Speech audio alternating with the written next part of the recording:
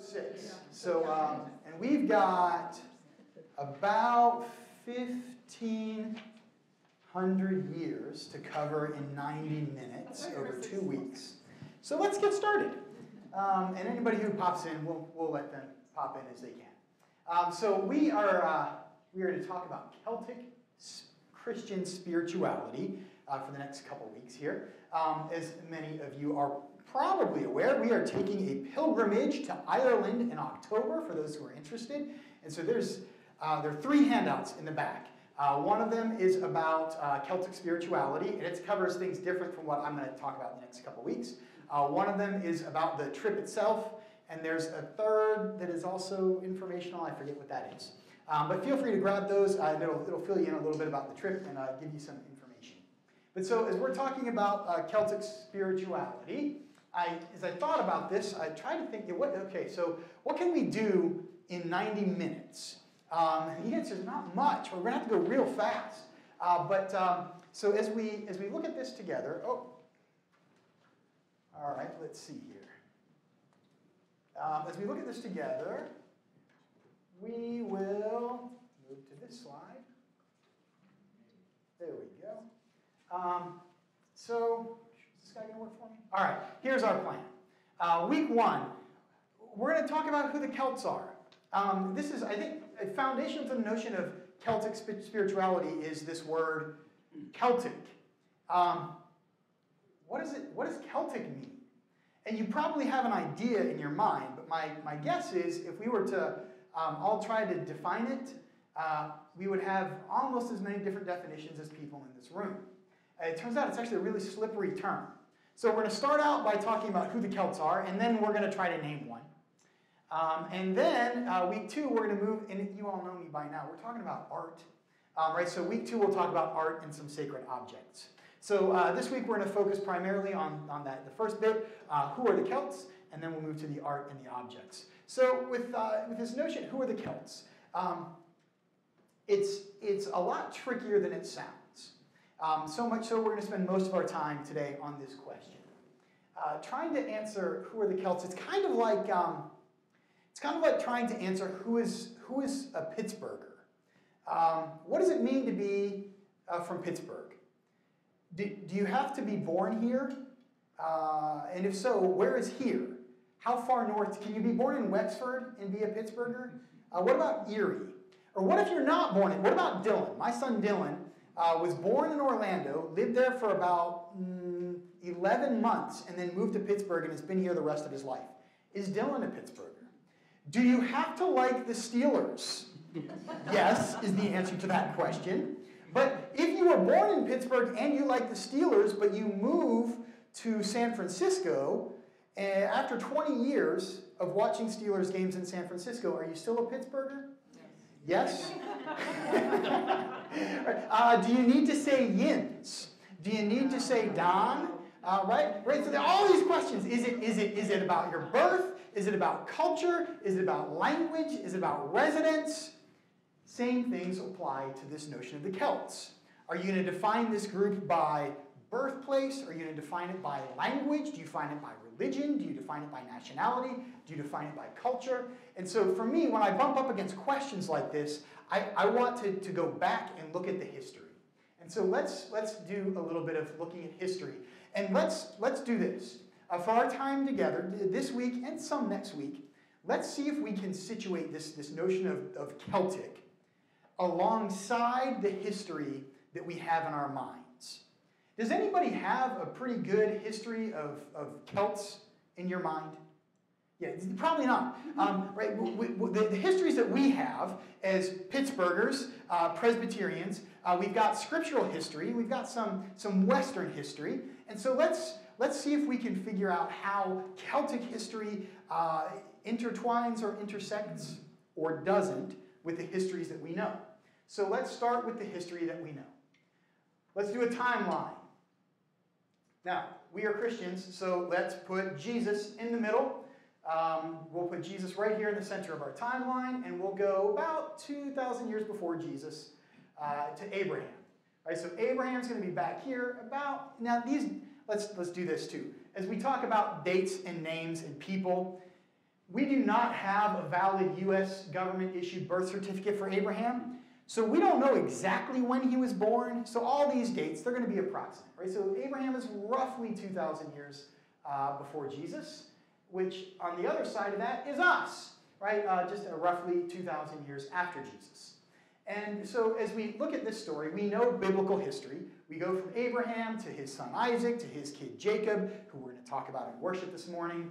Uh, they then go, um, they go into Egypt, and that doesn't go very well. They leave Egypt. Moses takes them out. Joshua takes them to a new land. They get some judges. They really want a king. And then, after about a thousand years, we get David.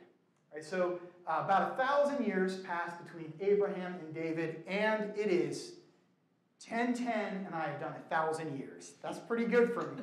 All right, so uh, King David is about a thousand years in between uh, Abraham and Jesus.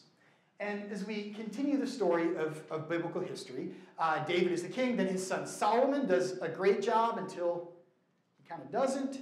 And then there's a civil war, the kingdom splits, and some other nations come in, and uh, we end up with the prophets, prophets like Ezekiel. And so Ezekiel shows up around, around 600. And so this is 600 before Jesus. And so typically scholars now will use, they use uh, CE and uh, BCE instead of uh, AD and BC. But we are literally talking about before Jesus. Um, this is, Jesus is literally in the center of our timeline here. So we'll, we can say BC. Right? So 600 before Christ, uh, we get Ezekiel. And so, uh, as Ezekiel is uh, the, the, prophet, the people have been taken out of Israel and they've been taken into exile in Babylon. So, this is the map.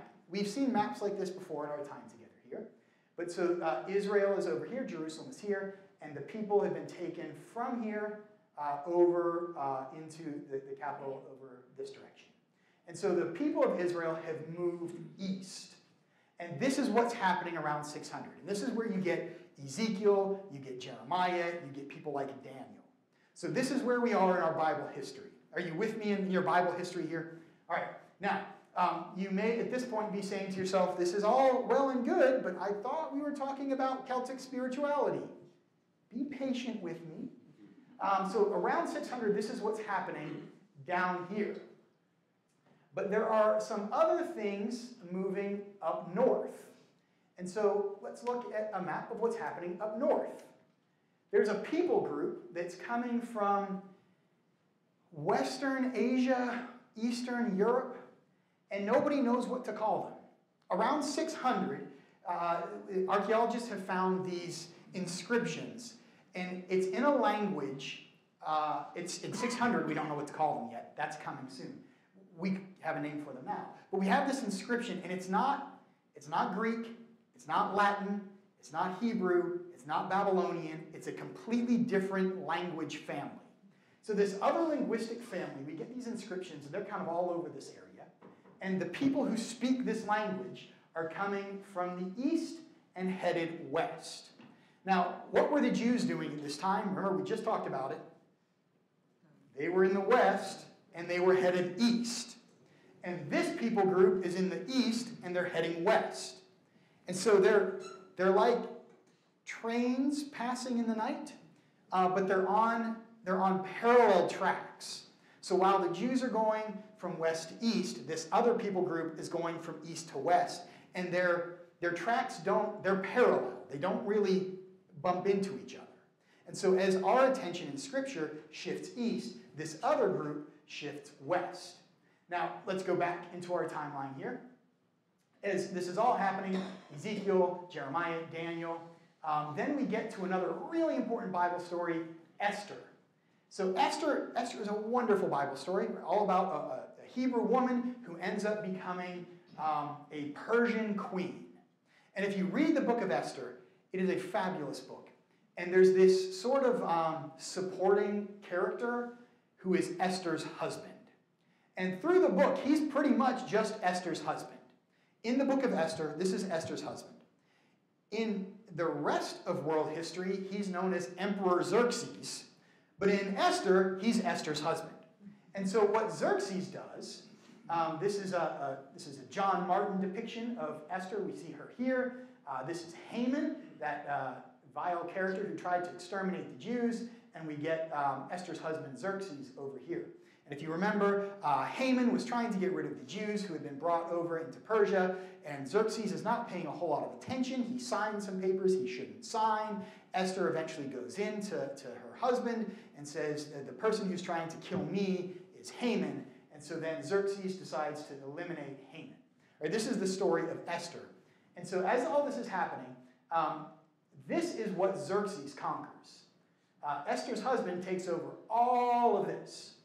And so uh, he expands that um, Babylonian Empire, which was kind of like right here, and he takes it all the way uh, to the east, goes even up into uh, the northwest. But you'll notice there's something kind of important right over here. This is a little area known as Greece.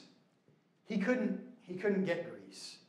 Um, Xerxes, Esther's husband, is the one who tried to go over and conquer Greece, and he bumped into another famous historical figure known as Leonidas, who uh, led the, the Battle of the 300. We, we love this story in the United States. We've made movies, and video games, and comic books about it. So Xerxes, he kept trying to expand further west and north, and he was stopped cold. He wasn't able to get any further. And so, again, let's remember um, oh, well, okay, we'll go back to this first. Um, what's happening here, uh, because Xerxes can't get any further, who knows who this is? This is Socrates. Because Xerxes gets stopped, uh, Greece is safe from Persian influence, which allows Greek culture to thrive. And a few years after uh, Xerxes, we get the birth, life, and death of Socrates. Now, Socrates is kind of a big deal, mostly because of his student, whose name is Plato. Plato, right? Most of what we know about Socrates comes from Plato. So Plato writes all these books that we still study in philosophy uh, classes today. I was a philosophy major. I read lots of that stuff. Um, right? So Socrates teaches Plato, and Greece is safe because, uh, because the uh, 300 are able to defeat Xerxes. Um, so he dies around, around 400, right? So a couple generations after Xerxes, we get Socrates. And so let's, uh, eh, well, okay. Um, that's what's happening in Greece. But if you go further west, you would find Italy. Xerxes also does not get to Italy, right? It's even further west. And in Italy, there's this little town. It's kind of an up and coming place you may have heard of. It's called Rome. Now, at this point, right, 399, Rome is not a major city. It's not a major uh, seat of an empire. It is an up and coming town. And uh, as the Romans are over here, um, that group of people, remember who we said were moving west, they've gotten into northern Italy. And as they've done this, they bumped into the Greeks along the way. And so, this nameless group of people who have a different language, as the Greeks encountered them, they wrote about this, their encounters, and they called this group of people the Keltoi. The Greek word is, it's, it's look in English, it's K E L T O I. In Greek, OI is plural, so they are the Celts. And so we now have a name for this group of people with their different language. The Celts have been moving west. And as the Greeks bumped into them, mostly because of people like Socrates and Plato, the Greeks, their culture is reaching its, its apex. Right? The Greeks are feeling really good about their culture, really good about their contributions to history and medicine and art and philosophy. And so they see these Celts and they look at them as pretty primitive. And they even describe them almost as barbarians. They're not. But they keep moving west until they get to Italy. And as they get to Italy, they now bump into the Romans. The Romans don't speak Greek, the Romans speak Latin. And so they don't call them Celts, they, they use a word in Latin, and it's, it's more like Gauls. And so the Romans call these people Gauls. Now, if you know much about history, you may have the word Gaul connected with a specific nation. Does anybody have the word Gaul connected with a nation? France. France. Thank you. We think of Gaul as France. Not yet. That's going to happen in a little while, which is part of where the, the, the, confusion with the term Celtic starts to appear because the Romans call them Gauls, but Gaul also ends up being one specific nation. So when we think of Gauls in history, all Gauls are, are Celts but not all Celts are Gauls, but right now they're all the same. So we'll get to that distinction in a little bit. But for right now, the Gauls, the, the, uh, the Romans have bumped into the Gauls, and they don't much care for them. And uh, Rome is down here. And there's this uh, little skirmish where someone from a border town in Rome kills a Gaul. And the Gauls are not, they're not real happy about that. So the Gauls send, uh, send a, a, little dispatch into Roman territory to go to the city where the murderer is, and they ask essentially for extradition. They say, One of yours killed one of ours, send, the, send him and his accomplices over to us so we can punish them. And the Romans said, Absolutely not. Um, the, the, these, are, these are Romans. Uh, they are under our laws, not yours, and you all kind of freak us out. So you stay up there and we'll deal with our own down here. And so the Gauls, when they heard that response, they weren't real happy about that either. And so one of the Gauls, or Celts, this guy named Brennus, B R E N N U S, around 390. Right, so this is right around the same time as Socrates. Right, Brennus gathers a, an army of Celts and they march into Roman territory. They march into Roman territory and they, they attack the Roman city that's harboring these murderers. Now, the Romans at this point, their, their military is it's pretty professional. It's pretty polished. They've got a lot of serious armor and shields and rank and file, and they hear that the Celts are coming. So the Romans send out their soldiers, they come up with a battle plan, and it's orderly and it's organized and it's systematic and it's beautiful. And as the uh, Roman army is there, they, they, they send the, the largest part, the most experienced part of their force, right in the center of the battlefield, and they take the reserves and push them off to the side so that they can then uh, collide with the Celts and the reserves can flank them, and now they're going to defeat the Celts pretty easily. So the Romans are ready, they've got their armor on, and they look to the hills to see the Celts coming. And when the Celtic army comes over the horizon, it does not look like the Roman army. As the Romans look at these Gauls, these Celts, they don't have fancy helmets, they don't have fancy shields, they don't have fancy breastplates. I mean, there's, there's really no two ways to describe it. They are naked. The Celtic warriors fight in only the armor that God has given them. and so the Celtic warriors come over the horizon completely naked. Now, not all of them are naked. Uh, some of the commanders have some, some armor on, but for the most part, the Celtic warriors, they're naked. And there, there are it's not just by accident, and it's, it's not because they're barbarians. Now, the Romans look at this, and they see naked soldiers coming over the horizon, and they look, and they, they the Celts, they also wear their hair very long. Uh, look at look at Brennus, and they also have they have long facial hair. And I don't, I haven't dug into this a whole lot. All of the descriptions I found say, in particular, it was mustaches. I don't know if it was, uh, but even in the pictures, they got mustaches, right? So uh, th- these, these Celtic warriors, naked with long hair and long mustaches, come over the horizon. And the Romans look at this and their shiny armor, their fancy shields, and their pretty hats. And the Romans say, These are animals, right? Look at these barbarians. These are wild animals. We're going to put them down like wild animals. This is not going to take long. And they're right. It doesn't take long. But it doesn't go the way they expect because the Celts are not barbarians. The Celts are brilliant. And as they come over that horizon, completely naked, Brennus looks at the Romans with all their fancy little organization and he can see exactly what they're doing. Brennus knows what they're doing as he comes over the horizon. He divides his troops a kind of an opposite way, where he ends up having, um, he, he evens out uh, the entire line so he doesn't have the best troops concentrated anywhere, and he pushes the majority of his troops not toward the center where the Romans are most, uh, most advanced and most powerful. He pushes over against the reserves. So he leaves his reserves evened out with some strength to, to hold the Romans back.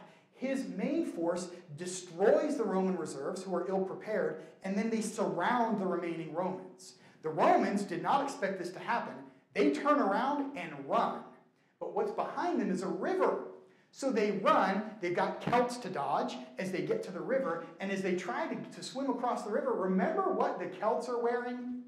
Nothing. Remember what the Romans are wearing? Armor. When they all jump into the river, who sinks first? so the Romans, they get obliterated in this battle against the Celts. And the Celts, they win so quickly and so easily and so unexpectedly, they look at one another and say, Well, you guys want to get lunch? what, what, do we do now? And they say, Well, yeah, let's get lunch. Where, where should we go? I don't know. They say there's a bigger city a little south of here. What was it called again? Rome. And so the Gauls, the Celtic warriors, completely naked, march on from this city to Rome. And something we don't talk about, remember, we like to talk about how the Greeks fought off the Persians. We don't tell this story in American history classes. The Celts marched on Rome and they took it.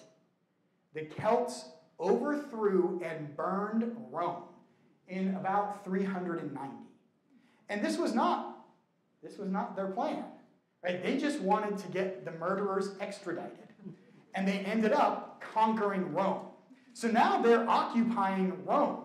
And they look at one another and say, well, now we finished lunch. What do we do? And th- this is, we're getting into such deep history.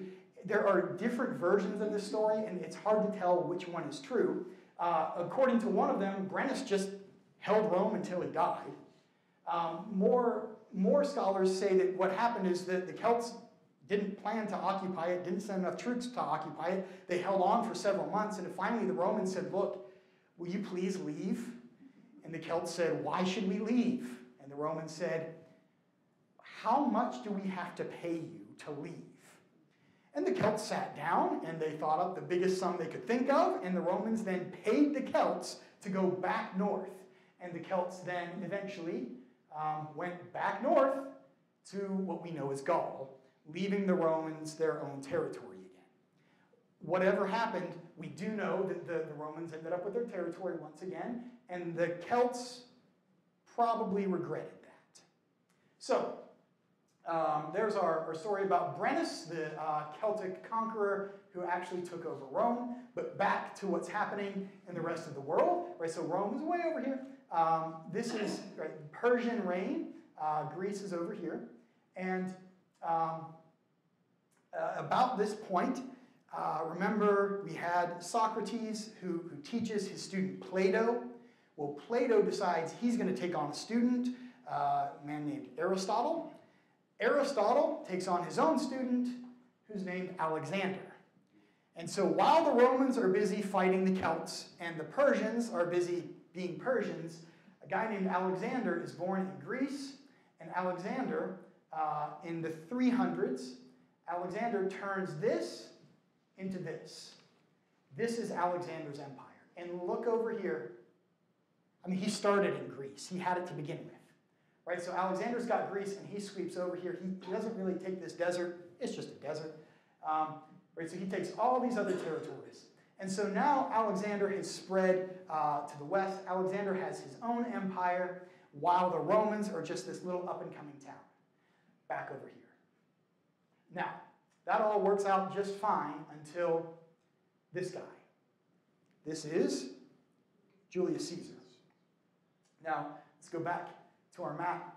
Uh, Caesar is in Rome, and this territory, Gaul, the Romans have lived in perpetual fear of the Celts ever since the Celts invaded them naked, uh, destroyed their armies, and burned their city. Who knew that that's enough to make you a boogeyman? Right? So the Celts are, are the fear of the Roman Empire. And so Julius Caesar, as Rome becomes a republic, they send this, this general named Caesar to head into Gaul around 100. And so uh, Caesar is going to head into, so Italy is over here. He's going to head up into this area, which is sometimes called Gaul, but this map calls it Celtica right? This uses the more Greek name. And Caesar, he writes a lot about his battles in Gaul, and he says these Gauls, they got a name for themselves. They call themselves Celts. Because they don't speak Latin, they aren't enlightened. If they were enlightened, they would know they're actually Gauls. now, oh, Caesar. Um, now, uh, the, the, which is Caesar's testimony there is, is kind of significant. Some scholars have used that to say that this word Celt, it's actually not a Greek word. It may be a Celtic word. I mean, this may have been the, the name that they had for themselves, and the Greeks transliterated it into Greek. But the word Celtic is actually what this group of people call themselves, and it may have meant something like the tall ones.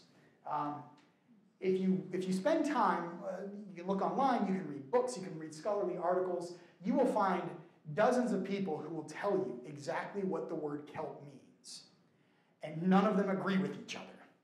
Right? There are all these different theories. Ultimately, all we know is that it is the name that applies to this group of people.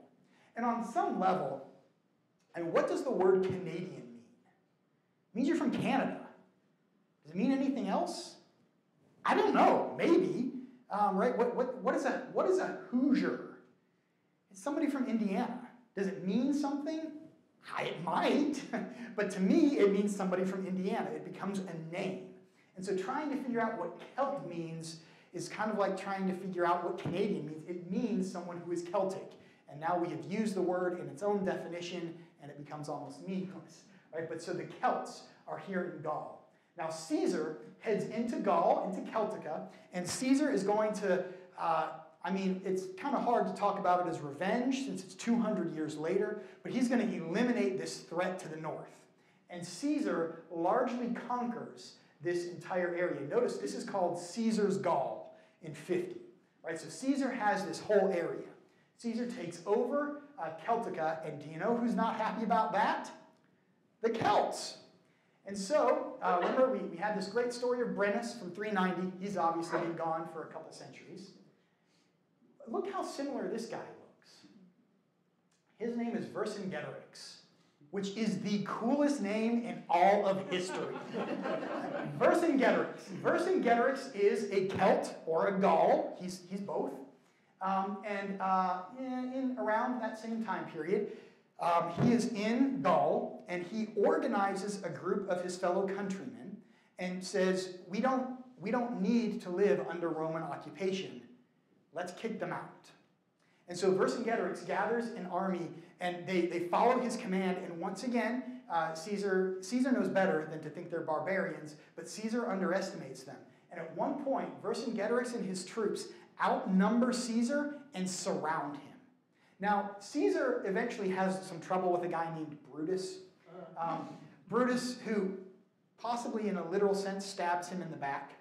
Uh, but Vercingetorix is one of the only people in history who is able to meet Caesar on a battlefield and, and, and make some progress. I mean, Vercingetorix almost defeats Caesar. And if he had, the course of human history would have turned in a much different direction. But he didn't. Even though he had Caesar surrounded and outnumbered, Caesar was a brilliant tactician. He knew who to bribe and when, and Caesar was able to weasel out of it and defeat Vercingetorix he then had him bound and dragged through the streets of Rome um, by chains. So Vercingetorix, the Celtic warrior, he, he fell. And from that period on, the, the Celts are going to have a very hard time getting any independence or making any headway against Rome in, uh, in Gaul. And so uh, this is Strabo, who is a, a Roman historian. Strabo describes the, the, the empire of Rome, and this is a, an atlas based on his description. You'll notice it's, I don't know what the right word is. I think technically the term is cattywampus. this map is a little cattywampus. Uh, but as Strabo describes uh, what has happened following Caesar, because remember, Caesar then, um, well, so we get Celtica. So Caesar starts in Rome, he comes up here, he takes over Celtica, and up in here, this area called Britannia, Caesar gets up there. Caesar crosses the channel and goes into what we know as Britain and he takes over a little bit of it when he hears that Brutus is causing trouble in Rome, and he turns around and goes back. So Caesar doesn't get to push too far into Britain, uh, but he does have a little bit. And so this is Rome. It's got a little bit of Great Britain, uh, and they've got this area they still call Celtica. Um, now, while all this is happening, there's something very important. Ah, well, actually, yeah, okay, here is, here is Celtic Britain. And so uh, Caesar takes this little bitty sliver, but the Celts, because they've been conquered in France, they start to move even further north. They cross the channel, and so there are Celts all over this island and over here in this place we call Ireland. And so there are Celts all through Britain. They're still trying to fight off the Romans in the south. Um, but while all that's happening, right over here in this little coastal area, there's a group of shepherds who are hard at work in the night shift when suddenly an angel of the Lord appears before them, and the glory of the Lord shone around them, and they were sore afraid. And so, as all this is happening on the world stage, and the Celts are moving into Britain, a group of shepherds see an angel, and that brings us to this part of our timeline. So, this is when Jesus is born. By the time Jesus is born, the Celts have been insulted by the Greeks they have destroyed the Romans and then been destroyed by the Romans, and they have been pushed into uh, what we know as Britain. And Jesus is then born. So um, uh, remember, this is, this is sort of that, that Roman Empire during the New Testament period. And you'll notice, um, as we said, there's a piece of Britain that's part of it, but not all of it.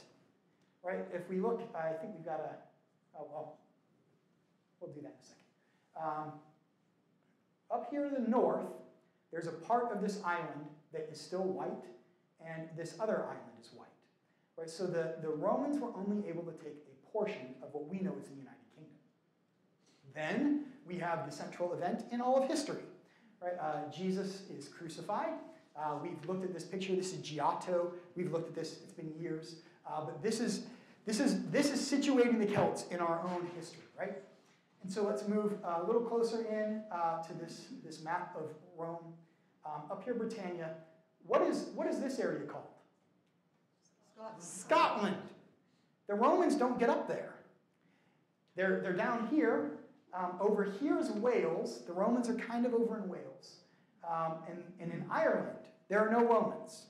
Um, so down here is Gaul, right? The, the Romans call it Gallia. This is, this is why we identify Gaul with France, uh, because the Romans call France Gaul.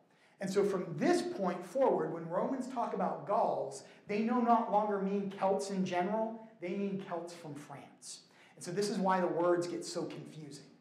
But so uh, the Romans are now, the, the, the Celts that are here in, in France, they are now subject to Rome and they start to become Romanized right? They feel the influence of Rome in Latin and Roman theology and philosophy and art and architecture. And to an extent, that happens up here as well. But not up in Scotland and not over in Ireland. The Romans aren't there. While that's all happening, this guy gets to work. Who's this? Where is this picture?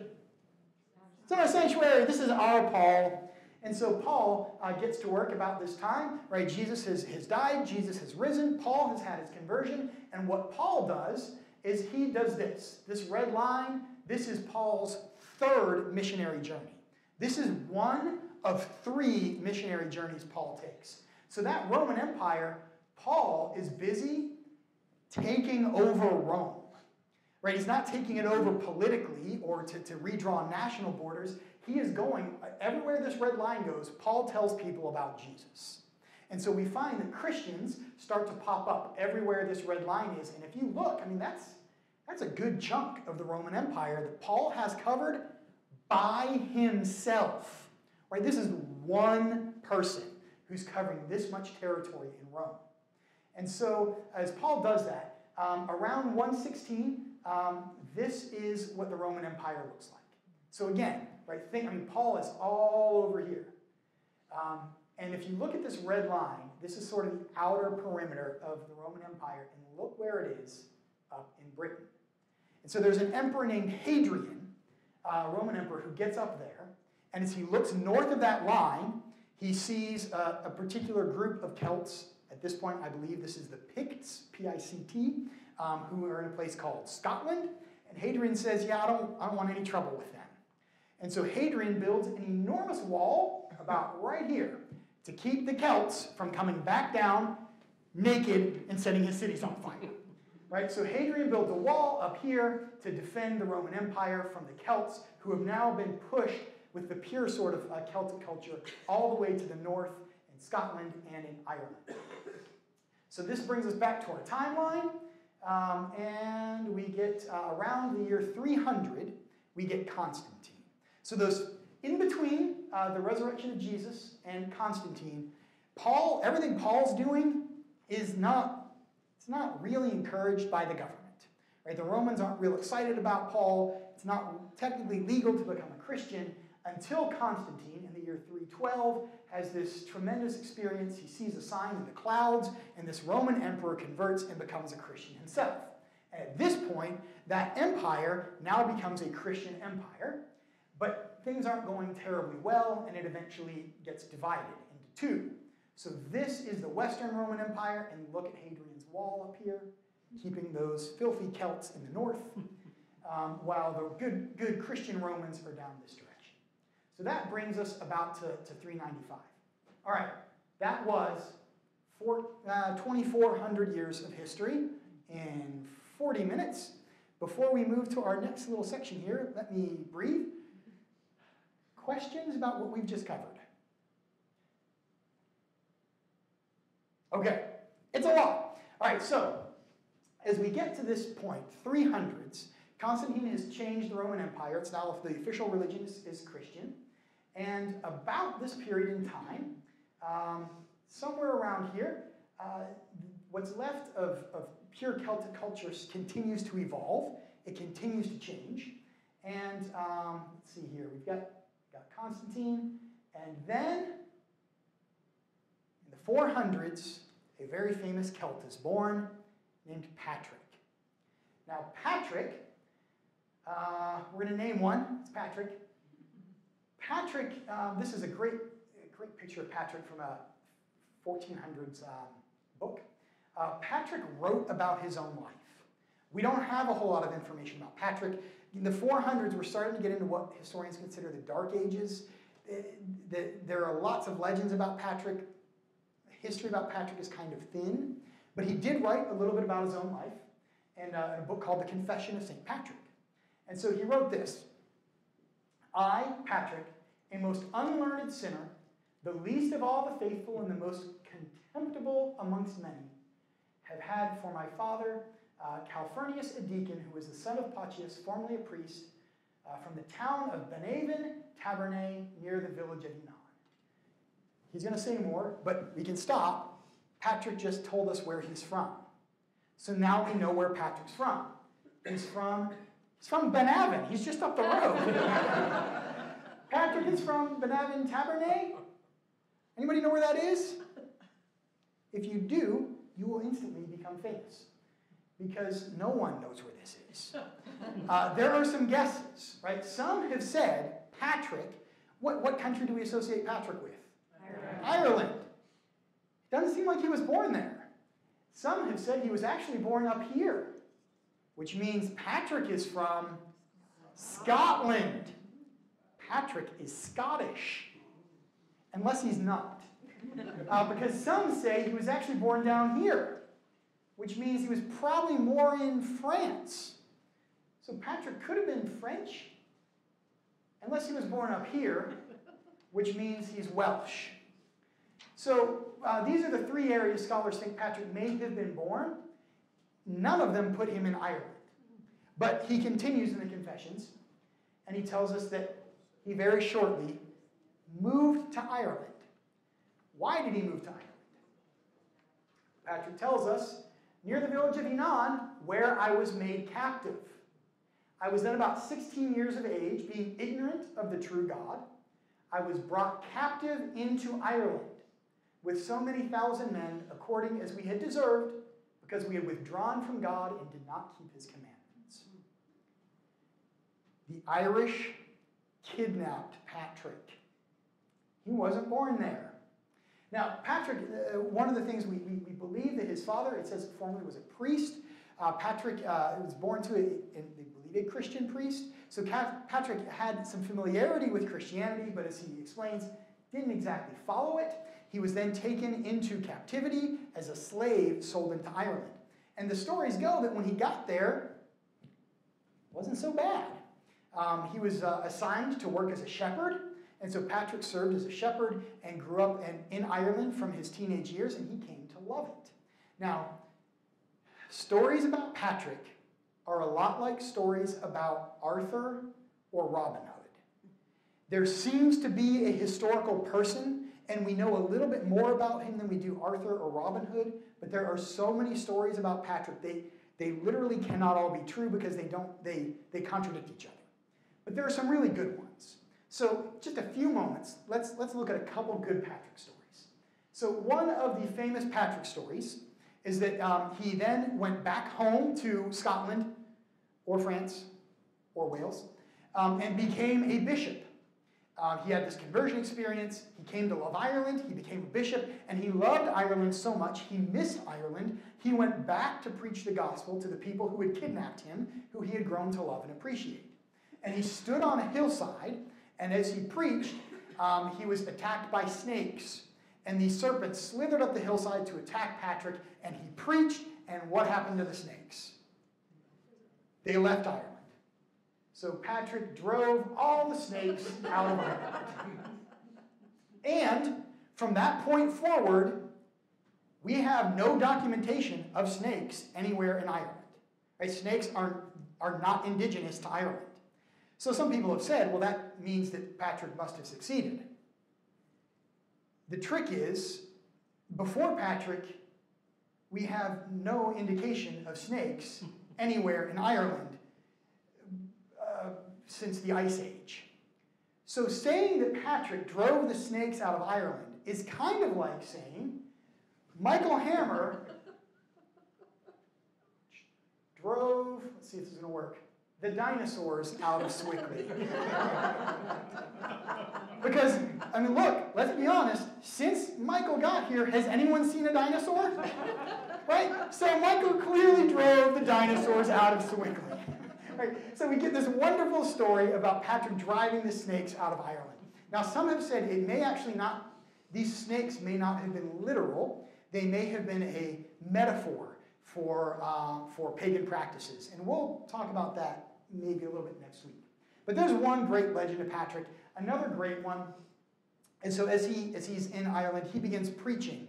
And he goes to all of these chiefs, all of these kings, um, of different tribes, and he, he tries to explain Christian theology. And at one point, he tries to explain to them the Trinity. And it's really hard to do. Uh, if you've ever tried to explain the Trinity or just sat down and tried to understand the Trinity, it, it, it doesn't make a whole lot of logical sense. And so, as Patrick is trying to explain this to a king, um, there are different versions of the legend, but he looks down at his feet, and what's growing but a shamrock? And Patrick then plucks the shamrock, which has three leaves, but is one plant, and says it's like this. It's three, but it's one. Right? This is the mystery of our faith. Now, as historians look at this, they say, well, it doesn't seem like that's too likely because there weren't actually a whole lot of shamrocks in Ireland at that point in time. But others have looked and said there, there may be something even deeper to this story because in some of the Celtic uh, practices, uh, there are three-leaved plants that were used in some of their religious customs. And so as Patrick is preaching, he may have taken a sacred plant and said, our religions aren't so different. This thing that you hold in esteem, this thing that is so important to you, it's important to me too because it explains the great mystery of our God. Right, so Patrick then begins to teach and to preach and to proclaim Christian theology. Now, is there any truth to the Shamrock story? No one knows. Boy, it's a really good story. And whether it's a historically accurate story, it does a good job at illustrating what Patrick did. Right? Patrick, he did a lot of teaching, he did a lot of preaching, he did a lot of education, and he tried to tell a people who had raised him, a people that he knew and a people that he loved, about his Christian faith. And so this is uh, how Patrick ends up in Ireland uh, proclaiming the Christian faith. It was already there before him, but he really is um, kind of credited with, with uh, spreading it. Um, and so at this point in time, about 500, this is what um, uh, Britain looks like. And you'll notice uh, the Celtic tribes are the pink, so they're all over the place. Even though it, mostly they've been influenced by Rome, except for in Ireland and Scotland, We've got Celts all through Britain. That is going to change. Um, but so, as we look at this, then we need to ask ourselves how the people of Ireland responded to Patrick and how this Celtic culture expressed Christianity, right? This culture that we, we found, we can date back, they, they had inscriptions from 600 BC. So, uh, out here, a thousand years, how are they going to express this new Christianity? And what did these centuries of art and custom look like as they expressed a new theology? And I'm going to suggest to you there is a concrete link between Sewickley Presbyterian Church and Celtic culture. And I will tell you all of that next week. Um, so it is 1050. Um, I got to hustle to get up to church. Uh, so let's, let's pray. Uh, Lord, we give you thanks for the chance to spend this time together, uh, for the chance to see not only what's happening in Scripture, but what's happening in the rest of the world and how it connects to our own heritage. Uh, we ask that you'll bless us as we go from this place and that you'll help us to see our story as a part of your story. In Jesus' name we pray. Amen. Amen. Thank you very much.